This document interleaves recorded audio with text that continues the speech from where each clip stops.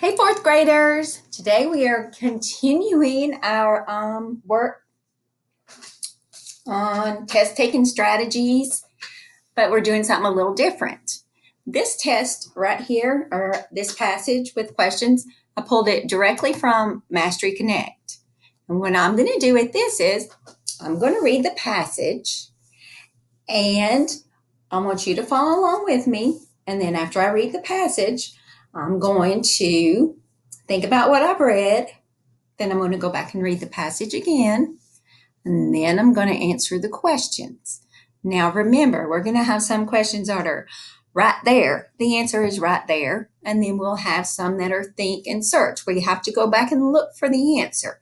But what you need to do also, as I'm reading and as you're reading when you take a test, is to think about the kind of questions that you know that test makers will ask us about theme and about vocabulary and about why the, um, the characters in the story make the choices that they do.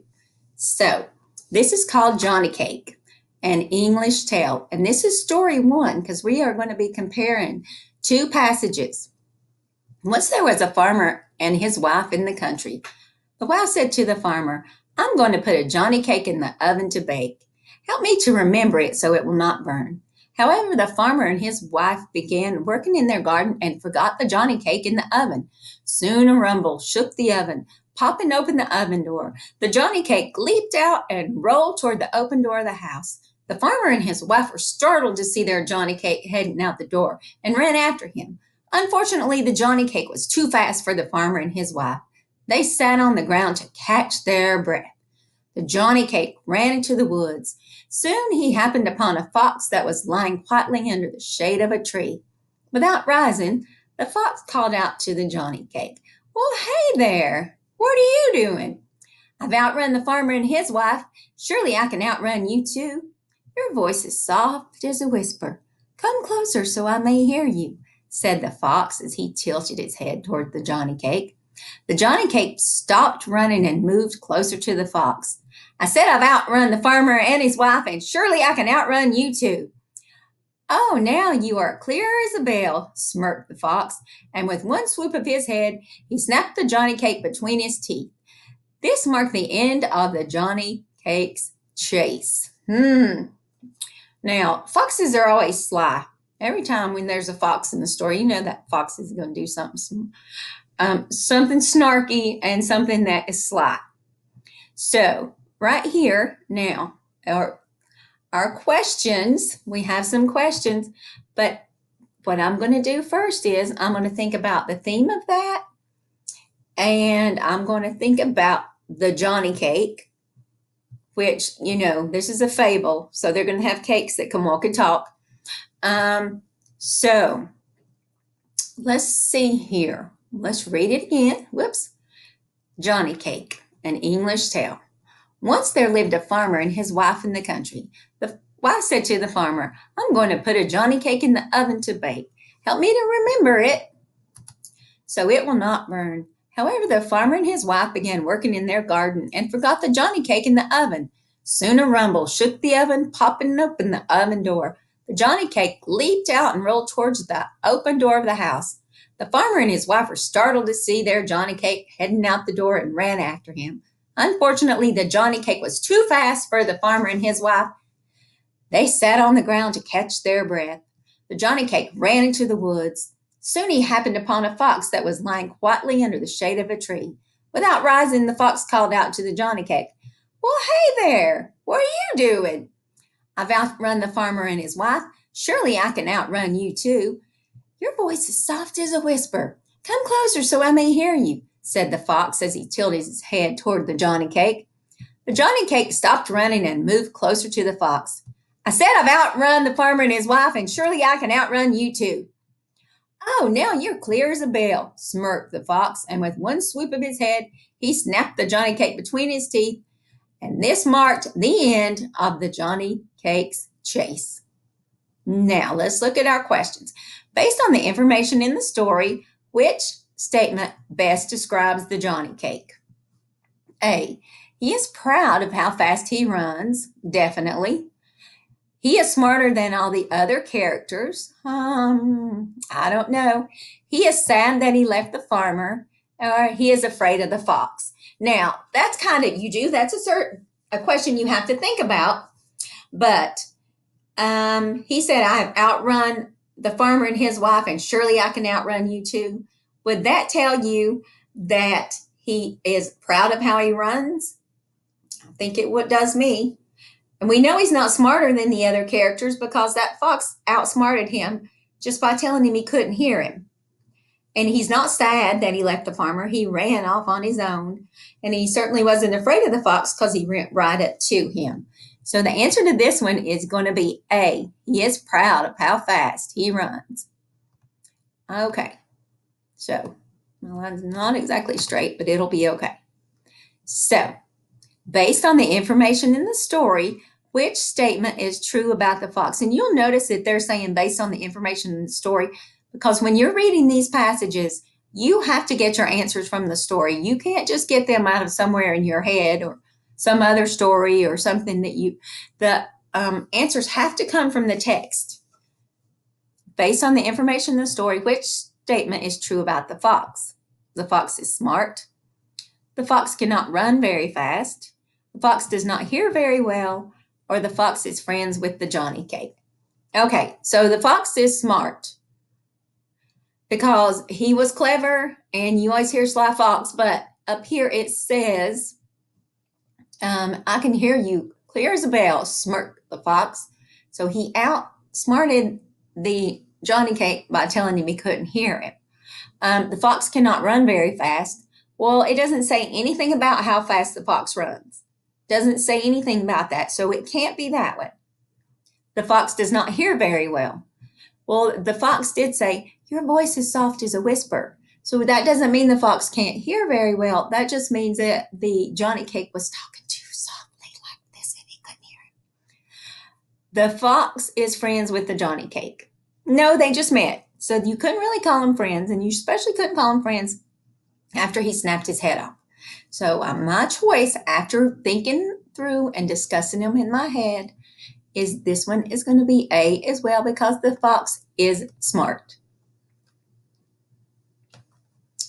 Based on the information in the story, which statement is probably true? The fox outsmarts the Johnny cake. The farmer's wife catches the Johnny cake. The farmer can run fast. The woods are dark and scary based on the information in the story. Well, the fox outsmarts the Johnny cake. Yeah, he does because he got him to come over there.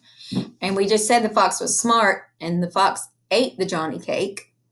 The farmer's wife catches the Johnny cake. No, she didn't because remember, she did not catch the Johnny cake. Um, the farmer can run fast. No, they got too tired. They had to sit down and the woods are dark and scary. Well, words may be dark and scary, but it doesn't say a single word about this up here in the text. And that's the only place I'm looking for my answer. So it's not going to be D. It has to be A. The fox outsmarts the Johnny cake. Okay? Now, one more down here. What is the theme of Johnny cake? Do not rest too often. Keep working towards your dreams. I don't Mm-hmm. I don't think the only thing it talked about resting was whenever it was talking about the farmer and his wife had to sit down and rest. Do not be greedy, but learn to love what you have. Hmm. I don't think it was talking anything about that. It was, hmm, I don't remember it saying anything about being greedy. Do not laugh at others. They may be helpful to you one day. And in this story, nobody was laughing at anybody, so it couldn't be that one. Do not brag about success or someone might prove you wrong. And this is important. If you go around and whenever we would have our races out there, and I would let you guys race to the door, and then um, somebody would always be bragging, saying they won, and it would cause a problem.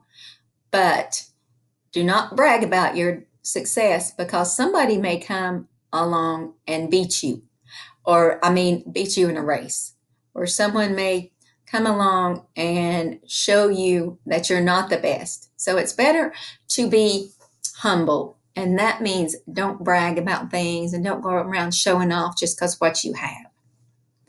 Now, the next story is called The Dumpling.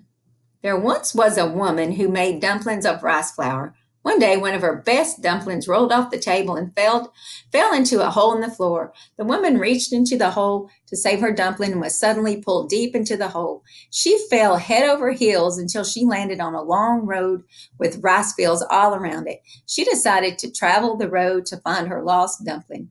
As she walked down the road, she called out, Dumpling, where are you?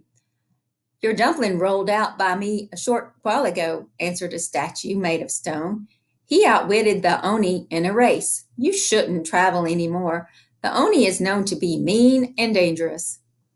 The woman looked the stone statue in the eyes. I'll let no Oni hurt my dumpling, and she ran past the statue to save her dumpling. The woman saw her dumpling in the hands of the Oni, and she passed turn in the road. She surprised the Oni and opened its hands using a rice paddle near her foot. The action set her dumpling free. The woman wished harder than ever to be returned to her kitchen. Suddenly, the rice paddle trembled and lifted the woman and the dumpling into the air. When the woman and the dumpling landed, they were back in the kitchen. The woman then enjoyed the rest of her day of the day with her prized dumpling. Now, that was a weird story. There once was a woman, I'm reading it again because I, there's a lot of things I'm not too sure about in this one. There once was a woman who made dumplings of rice flour. One day, one of her best dumplings rolled off the table and fell into a hole in the floor. The woman reached into the hole to save her dumpling and was suddenly pulled deep into the hole. Oh, okay. She got pulled into the hole. She fell head over heels until she landed along a long road with rice fields all around it. She decided to travel the road to find her lost dumpling. So she was pulled through that hole and she came out on a road. She walked down the road. She called out, Dumpling, where are you? Your dumpling rolled by me a short while ago, answered a statue made from stone. He outwitted the Ani in a race. You shouldn't travel anymore. The Ani is known to be mean and dangerous. The woman looked at the stone statue in the eyes. I'll let no Ani hurt my dumpling, she said, and she ran past the statue to save her dumpling. The woman saw her dumpling in the hands of the Ani as she passed the turn in the road. She surprised the Ani and opened its hand using a rice paddle near her foot. This action set her dumpling free. The woman wished harder than ever to be returned to her kitchen. Suddenly, the rice paddle trembled and lifted the woman and her dumpling into the air. When the woman and the dumpling landed, they were back in the kitchen. The, the woman then enjoyed the rest of her day with her prized dumpling. Well, that story was interesting. Based on the details in the story, what what would the woman most likely do if she lost another dumpling? Now, these are the questions that you really have to think about because you have to think about the woman and the character and the things that she did and the lengths that she went to to save her dumpling. She would work hard to get it back. She would let it go and make another. She would ask an Oni to help her find it. She would follow the advice of a statue. Well, when you think about those choices and what happened in that story and how hard she worked to get it back, we could say that if she lost another one, she's going to do the same thing she did, which would be work hard to get it back. So, A. All right, now, what is the theme of the dumpling? Okay, let me think. Use your time wisely. Kindness can be rewarding. Choose a road and follow it. Search for what matters to you. So, Hmm. Use your time wisely. That wouldn't be the theme in that one because it doesn't really talk about time. Kindness can be rewarded. Well, no, she was kind to her dumpling, but that doesn't really, that's not the theme of that story. Choose a road and follow it. So she landed on that road and she followed it. She didn't really have to choose it, she just landed on it when she went through that hole. So Search for what matters to you. And I think what that means is if something is important to you and you've lost it or you feel like you've lost it, you need to look for it. Search for what's important to you. So I'm going to say that is D because when you think about the story and how the woman, how she went, because the dumpling was important to her, and she went out of her way. As she walked down the road, she called out, The Ani, Ani is known to be mean and dangerous. So she didn't care. She still went to look for her dumpling. So search for what is important to you. I am pretty sure that that is the um, theme of that. Which sentence best summarizes the story? So we got a summary again. A woman learns from a stone statue who has her dumpling. Well, no, that happened, but that's not all. A woman fights a dangerous creature to get her dumpling. I don't think so. I don't think she fought him. A woman searches until she finds her dumpling. A woman looks in the rice field for her dumpling. Well, she didn't look in the rice field. She went down the road and it summarizes the little passage says, A woman searches until she finds her dumpling. Now, how are the two stories alike? And this is the two stories uh, that we just read, which one is Johnny Cake, and then the other one was the dumpling. Both two stories are true. Well, no, they are not. Johnny Cakes do not run out of your oven. Both stories have the same ending. No. Both stories have ca- characters that are chasing food. True. Both stories have events that begin in a garden. So, hmm, I'm going to say that it would have to be both stories have characters that are chasing food because um, that both stories started in a kitchen. So, both stories have characters that are chasing food. And you know that whenever um, I read these passages, so I'm familiar with them. How are the actions of the dumpling and the Johnny cake different? The Johnny cake ends up in more danger than the dumpling. Well, the dumpling was probably in danger as well. The dumpling travels blindly, but the Johnny cake knows where it is going. Well, we don't really know too much about what was going on with the dumpling. We know what was going on with the woman who was looking for the dumpling. The Johnny cake escapes on purpose, but the dumpling rolls away by accident. The dumpling meets up with others while traveling, but Johnny cake, cake keeps to himself. So, the Johnny cake, he did escape on purpose. He went running out of the oven, but the dumpling, he rolled away. She, he fell off the counter and he rolled into that hole. So, the Johnny cake escaped on purpose, but the dumpling rolled away by accident. And that's probably his owner went searching for him. But that being said, the Johnny Cakes owner wanted to go find him too, but he got he was eaten by a fox. How are the endings of the stories different? The if in Johnny Cakes the food goes free, in Johnny Cakes the food the cook makes new food. Um, that's no. And in Johnny Cakes, the cook makes new food. No. In the dumpling, the food brags about its speed. No. In the dumpling, the cook gets her food. Now, how are the endings of the stories different? Johnny, so the dumpling, in the dumpling, the cook gets her food. So Whenever in the other story, the farmer and his wife did not get their food. So I am going to choose D. One difference between the Johnny cake and the dumpling is the dumpling is saved, is saved and the Johnny cake is not true. The Johnny cake is made by a woman and the dumpling is not. That's not true. They're both made by women. The events in the Johnny cake could easily happen and those in the dumpling could not. No, it'd be more likely to lose your dumpling than it would to have your cake go running down the street. In the dumpling, the woman goes after the dumpling, but in the Johnny cake, the woman does not go after the Johnny cake. That's not true either. The farmer and his wife both went chasing after the Johnny cake. So this is it. A, the Johnny cake, the dumpling is saved and the Johnny cake is not. Because I read those passages, those stories twice. So most of these I can think about, and these are all think questions. You think about what you've read.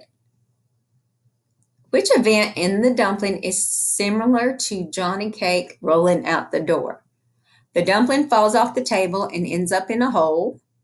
The statue tells the woman where the dumpling is. The woman wishes to be back in her kitchen. The dumpling lands where it once began. So, which one of these are similar? And you know that similar means they're the same. Which ones are close to each other? The dumpling falls off the table and ends up in a hole. The statue tells where no, let's see. Um, it would be the dumpling fell off the table and wound up in a hole, ended up in a hole. So would be the same as they they forgot about the oven door. They forgot about the Johnny cake and the oven door went flying open and Johnny cake ran away. So that would be 16. I'm pretty sure. Now, your assignment today is going to be to read a couple passages, read them twice, and then answer the question. As you're reading, think about the questions that test makers will be asking you. Think about themes, think about the characters. Put yourself in the position of the characters because it might say, What would, um, right up here when it says, based on the story, what would the woman most likely do? So you have to think as if you were the woman based on what you had read. What would she likely do?